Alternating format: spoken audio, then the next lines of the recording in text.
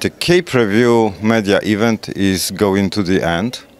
Uh, these were uh, very intensive and busy days. Uh, let's try to summarize this. I think we have seen now it's a third day of our preview, and we have seen a lot of presentations of our companies, and some of them already told us what they are going to show in October here in Düsseldorf. Not all of them already said what they really want to show, but at least we saw that all, at least all of our exhibitors are somehow showing something with the three major topics of the show. It's digitalization, it's circular economy, and climate change.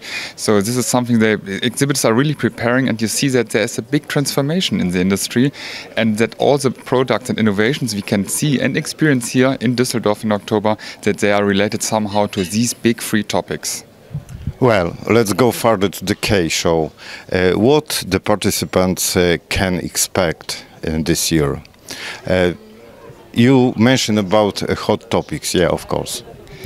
I think our exhibitors and even our visitors, if they are coming to K here in uh, October to Düsseldorf, they can expect to, you know, have the chance to, you know, uh, yeah, meet face to face on a global level because this is i think the, the, the first chance after the pandemic that there is a chance to meet on a global level face to face and really here on a show and not only on a digital um, yeah like uh, basis with screen by screen uh, option for example can we tell today something about numbers? Uh, how many uh, how many exhibitors? Uh, expected number of uh, participants? I don't know.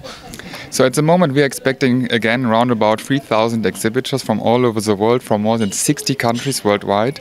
And uh, yeah, K is fully booked. We are using all our uh, exhibition halls here at the fairground. And further on, we also have our open fairground, which we're using again for K because the halls are really packed and full, and everyone's really preparing to show what they have. And so you can, if you come to Düsseldorf, you can really expect a full fairground and a lot of exhibitors.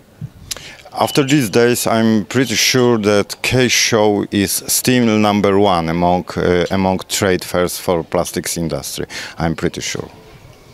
I think so too. So for sure, K is the world's number one trade show for the plastics and rubber industry, and there is no other show worldwide with such a high internationality. Because really, we have, as I already mentioned, on the exhibitor side, we have more than 60 countries, and on the uh, sorry, on the exhibitor side, and on the visitor side, we're also expecting again 160 countries taking part. So there are a lot of people from all over the world coming together. So we're really looking forward to welcome everyone here in person again in Düsseldorf.